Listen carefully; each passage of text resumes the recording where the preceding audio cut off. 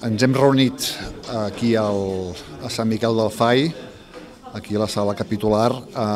a convocatòria de la Diputació, amb tot una, un conjunt d'agents, eh, alcaldes, alcaldessa dels municipis que formen part d'aquest entorn, Consells Comarcals, eh, Generalitat de Catalunya, per compartir l'estat de situació en relació a totes les actuacions que, està, que estem fent com a Diputació per obrir en el futur eh, aquest espai, aquest equipament, aquest entorn natural, patrimonial, eh, fantàstic que és Sant Miquel del Fai, una propietat que té la Diputació i que estem fent esforços per obrir a la ciutadania de nou.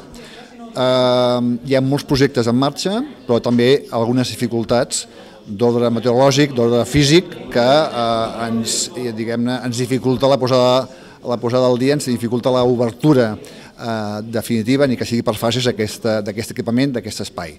Per tant, jo crec que avui ha estat un dia important per compartir amb el territori, compartir amb, ajuntaments, amb consells comarcals, amb Generalitat, compartir el moment eh, dels treballs que està fent la Diputació, de les dificultats i també de les esperances futures per poder tenir en els propers mesos doncs, un espai a disposició de la ciutadania. La Diputació no, no s'ha aturat en, fer allò que li correspon. De fet, des del primer dia que la Diputació va adquirir eh, la finca de Sant Miquel del Fai, ja va ser a mitjans del 2017, des del primer dia ja hem eh, posat mans a l'obra, eh, s'han fet molts informes, molts dictàmens, molts estudis, s'han encarregat treballs d'urgència per diguem posar en norma les instal·lacions. De tota manera, eh, hem de continuar fent-les, tenim també, estem sotmesos a les llicències a les llicències dels ajuntaments per poder fer segons quin tipus d'obres. I en aquest sentit doncs, portem molta feina feta aquest any, però hem de continuar fent-la eh, amb els propers mesos. També és veritat, i ens hem trobat des dels últims dos mesos, dos, el mes d'octubre, mes de novembre, dos mesos amb una pluviositat impressionant, de fet a tot el país, o a gairebé tot el país, i aquí en aquest territori també. Això ens ha provocat molts problemes, ens està provocant problemes d'inundacions, eh, de problemes de despreniments de pedres, problemes d'aixecament de, de, de,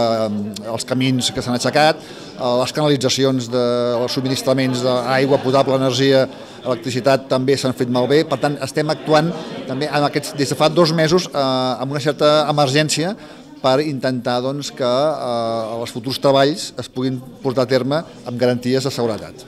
Avui hem compartit amb alcaldes, eh, presidents de Consell Comarcal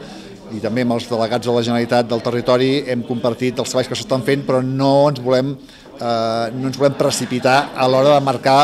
un termini d'obertura per fases, perquè en aquests moments jo crec que seria contraproduent. Si no tens certeses, jo crec que aixecar expectatives quan no tens certeses doncs no és diguem-ne ni políticament correcte ni crec que és eh, diguem-ne prudent fer-ho.